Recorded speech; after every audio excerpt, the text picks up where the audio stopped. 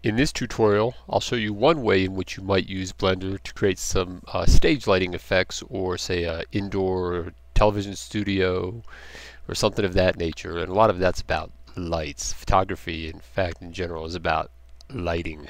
And so what I've done here is I've simulated some lights and I've added a lot of lights and that would that starts to really bring the scene to life. And you know if you think about a concert and all these kind of productions they're always loaded with lights and shininess and things like that. So let's uh, take a look at the scene. What I have pretty much there's not a lot going in it, it it's uh, less than it looks like. What this is back here is just a simple plane with this uh, image texture mapped on it to kind of try and simulate soft lighting like this instead of adding a bunch of lights to the scene and then down here these are actually real lights in the scene to uh, give me these reflections off here. So the surface for this has a pretty good specularity set to it. Was it not even that high actually when I think about it? Oh I have it actually pretty low in this case.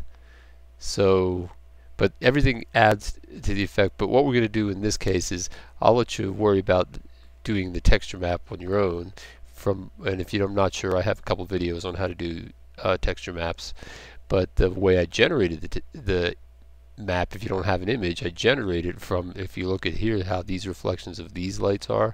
Well if you look down really close to the end of the scene you can zoom in like this all I had done with an earlier one was generated and zoomed in captured the screen turned that into a image and then mapped it onto the plane for that. Now as far as these other effects are concerned, this is actually these are actually real lights placed in a circle like this and I'll show you how you set this up. In fact I'll just move it over here to the side and we'll do another one real quick. So from here I press shift A and I just add a lamp point lamp to the scene and we get my cursor back okay and so there it is in the scene like this and you could you know duplicate it conventionally by moving it out to the side like this and then leaving your cursor at that location make sure your pivot point is at the 3D cursor. And then I could set, press shift D to copy and immediately press RZ and maybe give it a value of 45 and then I've copied it to that location right over there as well. The other one's still in the scene. So but that's kind of the it's kind of the slow way to do it. So I'll put the light back to the center where it was. Here, let's verify it's still there. It, there it is. There is in the scene like this. So I'll leave it there, and then instead what I what I'll do, what I did in this case over here as well, I'll add a circle to the scene. Let's move this one out of the way, actually. Nope, hang on. Not that one. Let's move this one out of the way. Okay, so there's this one in the scene.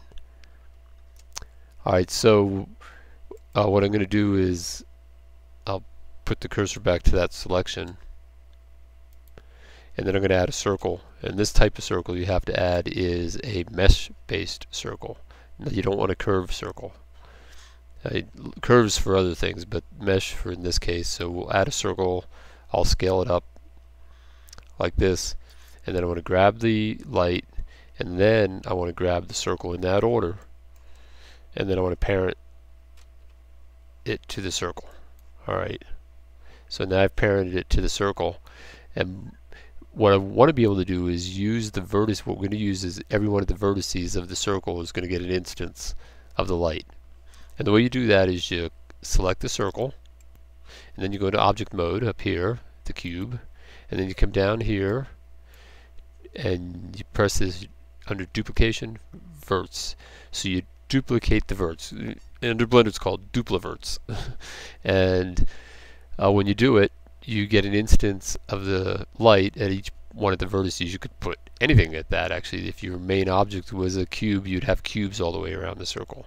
So in this case, now the interesting is once you've done this, if I try and select that light, I can't actually select it. All I'm selecting is the circle. So it's not a real object yet in order to make it a real object, you have to use the command make dupliverts real. And so you can go over here to object and apply, and then come down here and it says make duplicate dupli duplicates real. We used to call it dupliverts. Alright, so you make the duplicates real, And but if you, if you notice now, there's I don't see any reflection from each one of these lights in the scene like this one has. Well, you won't until you get rid of now this center cube, I mean center light. And when I do, these lights come to life. So now these are all individual lights like this in the scene. And if you want to move them together, of course, you're going to have to group them because they are now just separate lights like that. And uh, and that's how I created this effect over here. Right now, these lights are really bright. I could have turned those down, but well, let's see if we can do that really. Let's see if we can grab all these guys real quick because we can't leave this undone. Let's see. I'll just turn everything off for a second. Uh, B. See if I can just do them all. Maybe they just sometimes when they copy, they all know about each other. And let's see if I can knock these down. Oops, knock the energy down. 0.1. Mm-hmm. Make it green. Oh, green's terrible in this case. How about yellow? No, that yellow. I don't even like yellow. We better do aqua, turquoise. Nah, that's not really even that good in this case. We're going to do maybe that's okay. That's, uh, I don't know. Okay, that'll work for the moment. But anyway, oh, so that kind of gives you an idea how I set it up. Alright, well I hope that helps you in your designs and maybe you can create a cool outdoor rock concert stage or a debut of uh, some fancy vehicle that you've made or something like that. Alright, I'll see you in the next lesson.